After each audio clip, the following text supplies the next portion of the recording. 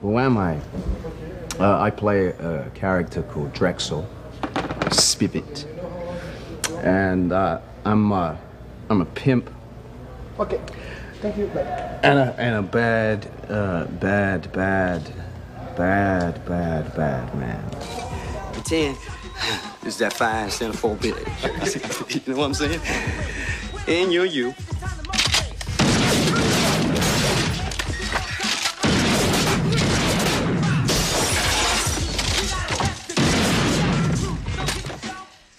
Quentin Tarantino, who is uh, really great.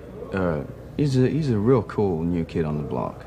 I mean, uh, uh, the writer and director of Reservoir Dogs, which you know about because it went to Cannes, I think. Yeah, um, and uh, yeah, he's just got an imagination, and he can take characters and put a special kind of twist on them that is um, unique.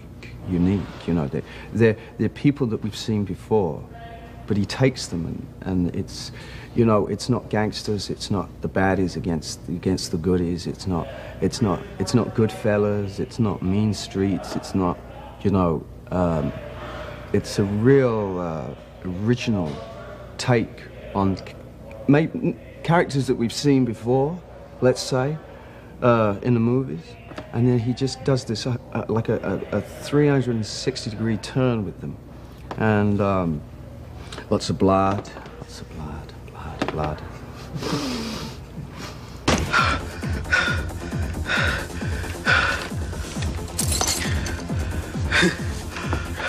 you must have thought it was White Boy Day. I met Tony uh, Scott, the director, and he said, um, I hadn't read the script. And he said, I got this really fantastic script. He tried to explain the story to me and he said, "Look, uh, I'm not very, uh, I'm not very good at this." He said, I, "I don't know how to explain the story to you." I said, "Well, look, forget about that. Who's the character?" And he said, "Well, he is a, he's a pimp, and he's a, a white guy who thinks he's black." And I said, "Okay, I'll do it." We got me sofa egg roll. We got everything here from a little Joe to damn if I know. I worked with a sound guy on the last movie I did who had hair just like this. And I thought, well, maybe dreadlocks, you know, like a white guy's like trying to dread his hair. Um, and uh, I had this lens and this scar and the teeth, and that I just kind of put it all together.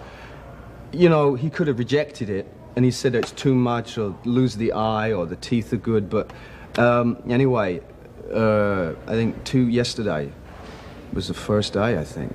Um, and he just looked at me and said, uh, yep, yep, yep, yep, yep, yep, yep, yep, yep, great. He said, check the boots out.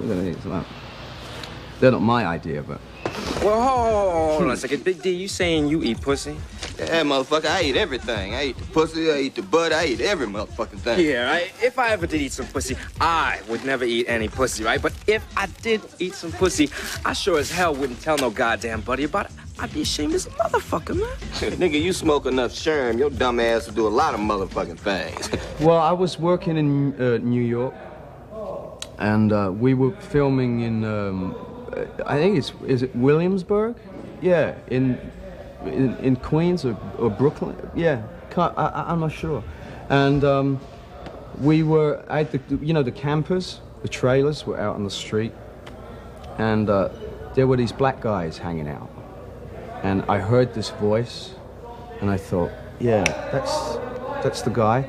So I had a tape recorder, and um, I said to him, uh, yo, yo, come here. And I took him into my trailer, and I said, do you mind if I tape your voice?